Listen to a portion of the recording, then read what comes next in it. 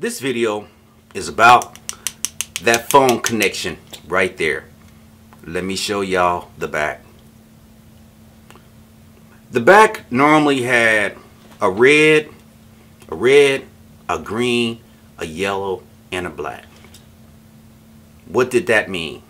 There was a four pair wire. It was only four. Okay? So when you had you a red and green and you was trying to hook up phone, you would take your red and green and hit your red and green to tip here and a ring here. Okay, tip, ring, red and green. That would be for the first phone line. The yellow and the black could be your second phone line. And then you hook up yellow and black. Bumblebee. Okay? So that would be two phone lines on this on this jack. You could. Sometimes uh, if uh, the wire got too short or something, I might just drop the red and green line altogether and just use the black. So that's how I would do it. So when when you are testing these phone jacks, the way how I used to do it was get you a voltmeter. Tip here, tip there, tip red, tip green.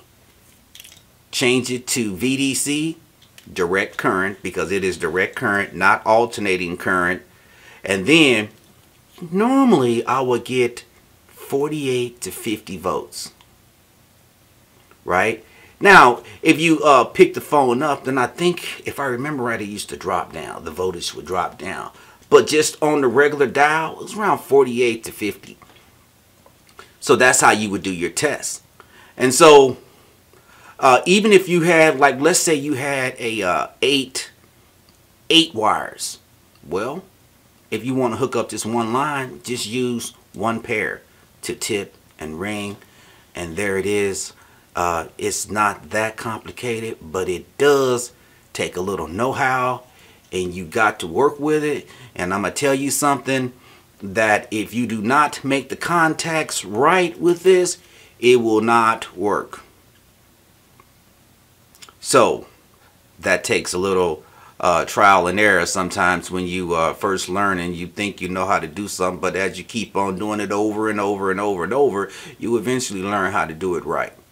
But anyway, this is just, I was just uh, trying to uh, bring this out today because, you know, I might as well take some time out and little stuff like this uh, break down in the house that I'm not really going to use anymore. Might as well make a video about it and hopefully you guys can learn something about it because, hey, do your own work and there's nothing wrong with being a telecommunications man or lady.